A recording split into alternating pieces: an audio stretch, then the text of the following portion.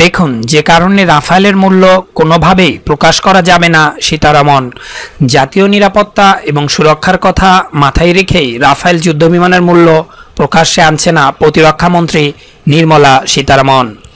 একদিকে দীর্ঘদিন ধরেই এই বিমানের দাম প্রকাশ্যে জানানোর দাবি তুলেছিলেন কংগ্রেস সভাপতি রাহুল গান্ধী।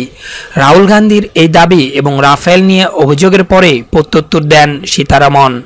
তিনি বলেন, সরকারের বিরোধিতা করতে হাতিয়ার খুঁজছেন রাহুল গান্ধী, কিন্তু এখন পর্যন্ত কিছু পাননি তারা। রাফায়েল দুই সরকারের মধ্যে সমঝোতার একটি ক্লাসিক উদাহরণ। এতে বায়ুসেনারও সাহায্য হবে। এটি একটি ভালো ডিল। প্রসঙ্গত ছত্রিশ রাফায়েল যুদ্ধবিমানের জন্য গত বছর ঊনপঞ্চাশ হাজার কোটি টাকার চুক্তি হয়েছে। এর বিরুদ্ধে সরব হয়েছিলেন কংগ্রেস সভাপতি।